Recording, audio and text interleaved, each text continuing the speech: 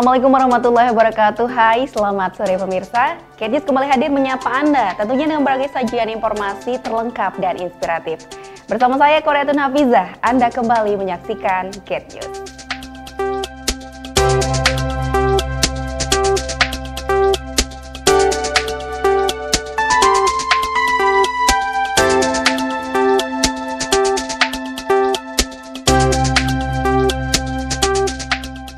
Ya pemirsa kita awali dengan informasi pertama.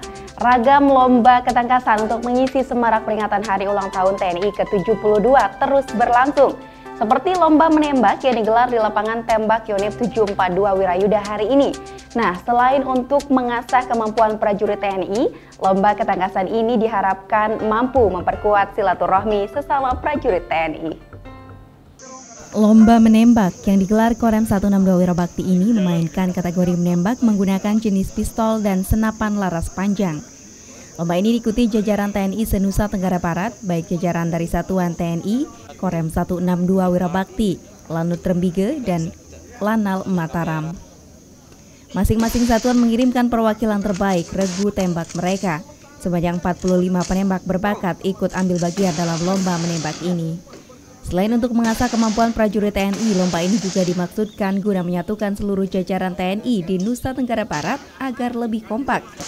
Kasih Ops Korem 162 Wirabakti Mayor Infanteri Komang Agus mengaku rangkaian lomba jelang HUT TNI ke-72 ini diharapkan mampu menjadi ajang menjalin solidaritas sesama prajurit. Eh, rangkaian pertandingan menembak yang dilaksanakan hari ini khususnya dan pada umumnya kita melaksanakan beberapa event pertandingan diharapkan kita TNI baik itu darat, laut, udara solid untuk melaksanakan tugas kita dan juga bisa bersama-sama dengan rakyat melaksanakan tugas di mana pun sesuai dengan tugas masing-masing sehingga diharapkan nantinya ke depan TNI bisa lebih solid, profesional, dicintai rakyat dan bangga bersama rakyat bersama-sama.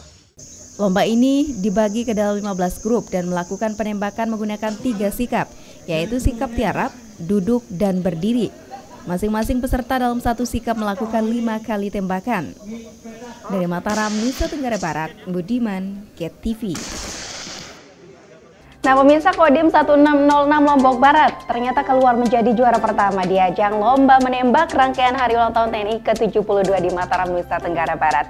Ya, Kodim 1606 keluar sebagai juara setelah mengantongi 398 poin dengan posisi tepat sasaran. Rangkaian lomba menembak senapan laras panjang yang digelar Korem 162 Wirabakti Nusa Tenggara Barat sudah membuahkan hasil. Lomba yang digelar untuk menyambut ulang tahun TNI ke-72 mengangkat nama Kodim 1606 Lombok Barat sebagai juara. Kodim 1606 keluar sebagai juara setelah meraih poin terbanyak dengan total perolehan poin tepat sasaran 398 poin.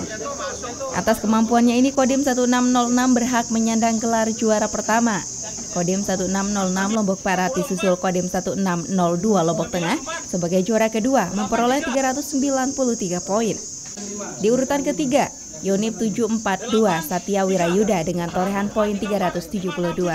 Untuk Kodim 16 06 juara 1 dengan nilai akhir 398. Kodim 16 06 Lubar sebagai juara satu. Untuk penembak terbaik senapan jatuh pada Sersan Kepala Henry. Sersan Mayor di sini serta. Sersan Mayor Henry dengan nilai akhir 139 dari Satuan Kodim 16 06 Lombard. Penyerahan hadiah dan piagam penghargaan akan dilakukan di puncak peringatan HUT TNI ke-72 tanggal 5 Oktober 2017 di lapangan X Bandara Rembige, Mataram.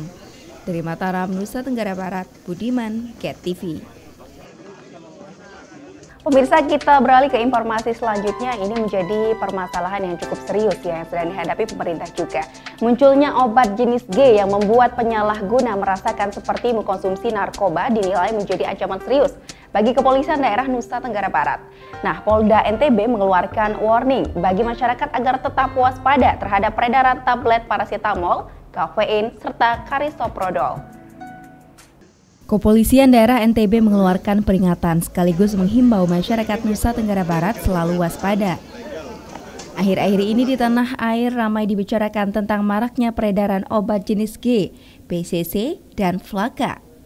Obat jenis ini dinilai memiliki pengaruh yang sama seperti narkoba jika dikonsumsi masyarakat. Dilematinya peredaran obat jenis G ini sudah cukup lama dilarang, Obat jenis ini sebelumnya berfungsi untuk penghilang rasa sakit yang dijual bebas. Namun setelah ada larangan peredarannya, kini muncul lagi dengan racikan berbeda, sehingga menimbulkan efek menerawang bagi pemakainya. Kepolisian daerah NTB melakukan upaya pencegahan peredaran obat jenis ini di masyarakat. PCC yang memang sekarang sedang maraknya, kami sudah menurunkan dua tim yaitu untuk melakukan penyelidikan. Tapi sampai saat ini belum mendapatkan informasi Nanti kalau ada informasi nanti kita akan sampaikan. Ini termasuk daripada golongan daftar golongan G. Sama Yaitu, seperti tramadol. Pak? Ya, sama seperti tramadol, tapi e, penyalahgunaannya ini lebih lebih tinggi, lebih banyak diminati oleh e, pengguna. Dari Mataram, Nusa Tenggara Barat, Budiman, Cat TV. Pemirsa kita beralih ke informasi dari seputaran Lombok Timur. Pemerintah Kabupaten Lombok Timur Nusa Tenggara Barat mendesak pemerintah pusat segera merevisi aturan tentang penataan kawasan Taman Nasional Gunung Rinjani. Nah, desakan ini dilontarkan pemerintah daerah Lombok Timur menyusul kisruh yang terjadi antara warga di sekitar kawasan TNGR dengan pengelola Taman Nasional ini. Kisruh warga Jurang Koak, Desa Babidas, Kecamatan Wanasaba, Kabupaten Lombok Timur dengan pengelola Taman Nasional Gunung Rinjani berbuntut panjang. Pemerintah daerah Lombok Timur gerah dengan sikap dua belah pihak yang saling klaim wilayah ini. Meski beberapa kali sudah melalui pembahasan alot, sampai saat ini pihak warga dan pengelola TNGR belum menemui kata mufakat. Khawatir kisruh warga dan pengelola TNGR berlanjut, pemerintah daerah setempat langsung turun tangan. Melalui Dinas Lingkungan Hidup dan Kebersihan Lombok Timur, pemerintah daerah berencana melayangkan surat ke Presiden dan Menteri Lingkungan Hidup RI untuk melakukan revisi batas kawasan Gunung Rinjani. Pemerintah daerah Lombok Timur mendesak pemerintah pusat segera merevisi peraturan menteri tentang kawasan Taman Nasional Gunung Rinjani. Kepala Dinas Lingkungan Hidup dan Kebersihan Mulki mengaku kawasan Taman Nasional Gunung Rinjani dikelola oleh pengelola Taman Nasional ini Mulki juga mengaku belum tahu pasti kawasan yang diperdebatkan warga dan pihak pengelola TNKR. Di sana tertuang bahwa e, kawasan tersebut masuk ke kawasan TNKR. Hmm. Permintaan pemerintah apa? Nah, untuk e, direvisi bahwa itu bukan kawasan TNKR. Ada berapa sih luasan yang diminta direvisi? Itu sekitar satu hektar. Yang kuasai warga saat ini? Yang di, dia, di, di, didiami, dikelola oleh warga masyarakat Lombok Timur khususnya di wilayah yang berada di Jurang ini. Mulki menambahkan sangat menyayangkan sikap dua belah pihak saling klaim lahan tersebut. Melalui upaya pemerintah daerah ini, diharapkan ada titik terang tentang batasan-batasan kawasan TNGR dengan tanah milik warga di sekitar Taman Nasional ini.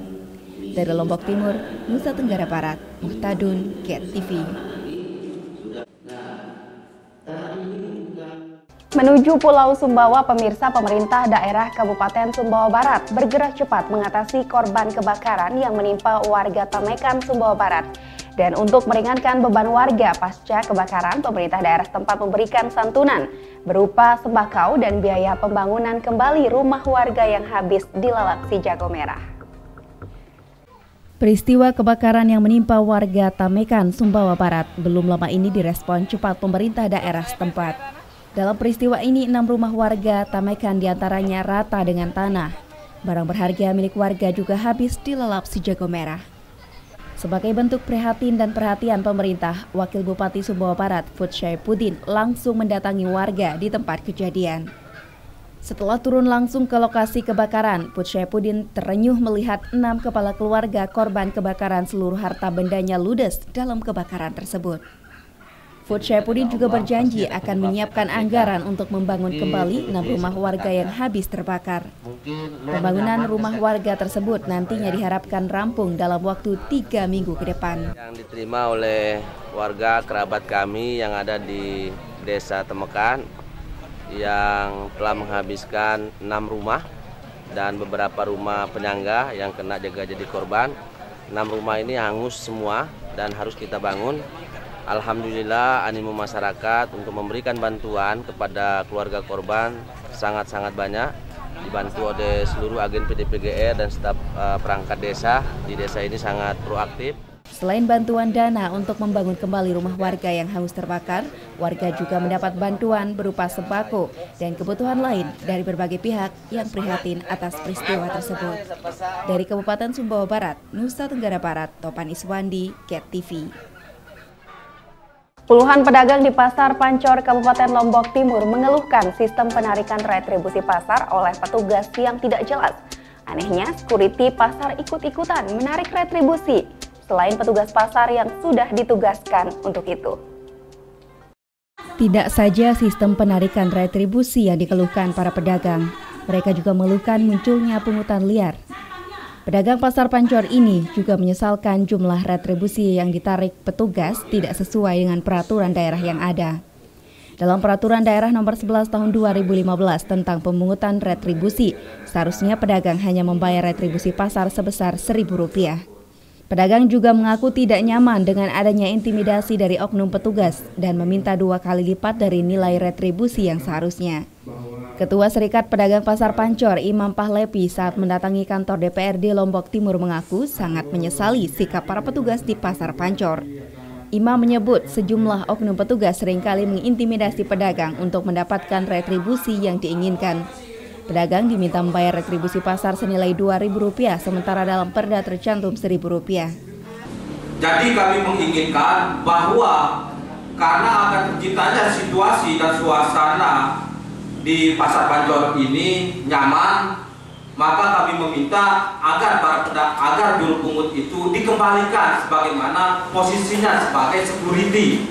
Sementara itu Nur Laili Kabit Retribusi PPKA Lombok Timur dalam kesempatan yang sama menegaskan terkait perda retribusi sampai saat ini tidak ada perubahan nominal. Uh, sesuai dengan perda sungguhnya tidak ada perubahan Pak Pimpinan. Baik itu perda 11 tahun 2010 maupun dia sekarang perda 1 tahun 2016 itu harga 1 meter persegi itu tetap 1000 Pak itu untuk pasar kelas A jadi tidak ada perubahan Perihal juru pemungut retribusi, menurut Laili pihaknya berjanji akan melakukan penertiban dalam waktu dekat. Dari Lombok Timur, Nusa Tenggara Barat, Muhtadun, Get TV. Kita sampai pada informasi terakhir. Pemirsa, tentunya berbagai cara dilakukan orang untuk mewujudkan impiannya. Nah, salah satu pelajar dari Dusun Gok, Desa Medang, Kecamatan Skotong, Lombok Barat ini setidaknya bisa menginspirasi untuk kita semua. Berharap bisa menggapai cita-citanya, pelajar MTS Al-Azimia ini rela berjuang sekuat tenaga menantang kerasnya ombak pantai Skotong. Seperti apa? Ini dia liputannya untuk Anda. Syafitri, pelajar Madrasah Sanawiyah ini adalah pelajar tangguh dan memiliki tekad besar. Baginya, jika sudah menyelami bangku sekolah, pantang baginya untuk berhenti di tengah jalan. Untuk bisa tetap bersekolah, Syafitri harus melintas menyeberangi laut agar tetap bisa belajar di sekolah yang nantinya bisa menghantarnya meraih cita-cita. Meski dekat dengan sumber perputaran uang di Lombok Barat, namun tak menjamin warga setempat bisa hidup sejahtera. Kerja keras dan menempuh pendidikan formal sudah menjadi keharusan jika ingin hidup dengan ekonomi yang mapan. Pelajar Madrasah Sanawiyah ini pernah merasakan bagaimana menempuh pendidikan formal dengan harus menyeberang lautan. Baginya, pendidikan sangat penting. Syafitri pernah putus sekolah karena akses menuju sekolahnya harus menggunakan perahu getek. Untuk bisa mencapai sekolahnya, Syafitri harus berjuang melawan kerasnya ombak yang ditempuh dalam waktu 30 menit. Selama mengarungi lautan, banyak masalah yang harus dihadapi, tidak sejak ombak dan angin kencang. Sesekali mesin perahu yang akan membawa mereka ke sekolah tiba-tiba mati di tengah laut. Belum lagi menghadapi cuaca yang tidak menentu, sehingga harus berbahasa-bahasa sesaat sebelum tiba di sekolah. Dulu SD-nya itu di SD 2 Medang. Terus jalannya itu harus lewat gunung, udah naik turun lagi. Kadang-kadang kita suka telat. Karena ya perjalanannya perjalanannya itu udah yang naik gunung turun lagi. Kalau dari rumah ya sekitar satu jam lah. Ya semangat harus semangat. Karena kalau nggak semangat ya. Di balik kisahnya ini, Syafitri menyelipkan cita-cita mulianya menjadi seorang penulis. Syafitri berharap bisa berbagi kepada semua orang tentang bagaimana pentingnya pendidikan dan bagaimana berjuang meraih cita-citanya. Dari Lombok Barat, Nusa Tenggara Barat, Tim Liputan, Cat TV. Pemirsa berakhir sudah kebersamaan kita dalam Get News edisi kali ini. Jangan lupa untuk terus perbarui informasi terlengkap dan inspiratif Anda tentunya hanya di Get News. Dan juga kunjungi kanal streaming kami di www.getmedia.co.id serta fanpage Get Media Channel di media sosial Facebook dan juga YouTube. Mewakili seluruh kru yang mengucapkan terima kasih atas kebersamaan Anda. Wassalamualaikum warahmatullahi wabarakatuh dan sampai jumpa.